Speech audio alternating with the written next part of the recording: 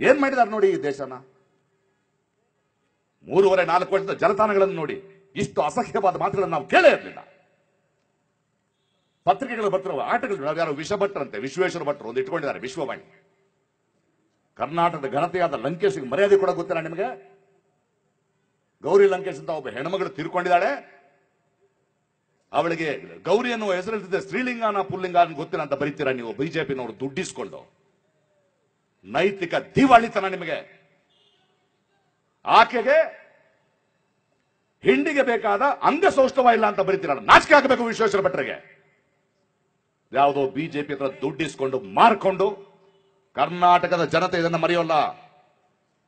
ಕುವೆಂಪುವಿನ ಕರ್ನಾಟಕ ಇದು, ತೇಜಸ್ವಿಯ ಕರ್ನಾಟಕ ಇದು, ಶಿವರಾಮ ಕಾರಂತನ ಕರ್ನಾಟಕ ಇದು, ಸಾಹಿತ್ಯದ ಕರ್ನಾಟಕ ಇದು, ನವೋದಯ ಸಾಹಿತ್ಯದ ಕರ್ನಾಟಕ ಇದು, ಬಸವಣ್ಣನ ಕರ್ನಾಟಕ ಇದು.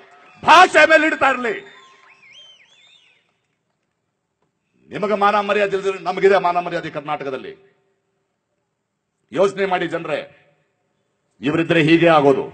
ಯಾವ ಸಂಸ್ಕೃತಿ ಬೆಳೆಯಲ್ಲ, ಏನು ಮಾಡಲ್ಲ, ಮಾರಾಟ ಕೂತಿದ್ದಾರೆ. ಕರ್ಕೊಂಡ್ ಬಂದಿದ್ದಾರೆ ನೋಡಿ ಗಡಿದಾರಗಳನ್ನ ಹೆಂಗ್ ಕರ್ಕೊಂಡ್ ಬಂದಿದ್ದಾರೆ ನೋಡಿ? ಮುಖ್ಯಮಂತ್ರಿ ಕ್ಯಾಂಡಿಡೇಟ್ ಅಂತ ಯಡಿಯೂರಪ್ಪನವರು ಅವರೊಂದು ಸ್ಟೇಟ್ಮೆಂಟ್ ಕೊಡ್ತಾರೆ. ಗಡಿದಡಿಗಳನ್ನ ಇವ್ರು ಕ್ಷಮಿಸ್ತಾರೆ. ನೀವ್ ಯಾರ್ರಿ ಕ್ಷಮಿಸಕ್ಕೆ? ನಿಮ್ಗೆ ಬೇಕಾದ ದುಡ್ಡು ಬಂದಾಯ್ತು. ನೀವ್ಯಾರು ಕ್ಷಮಿಸಕ್ಕೆ? ಕರ್ನಾಟಕದ ಜನತೆ ಕ್ಷಮಿಸಬೇಕು ರೆಡ್ಡಿ ಬ್ರದರ್ಸ್ನ. ಕೊಳ್ಳೆ ಹೊಡೆದಿತ್ತು ನಮ್ಮನ್ನ, ನಮ್ಮ ಪ್ರಕೃತಿಯನ್ನ, ನಮ್ಮ ದುಡ್ಡನ್ನ. ಹಂಚ್ಕೊಂಡಾಯ್ತು, ನೀವು ಕ್ಷಮಿಸ್ತೀರಂತೆ ಹತ್ತು ಹದಿನೈದು ಓಟ್ ಸೀಟ್ ಬರುತ್ತಂತೆ.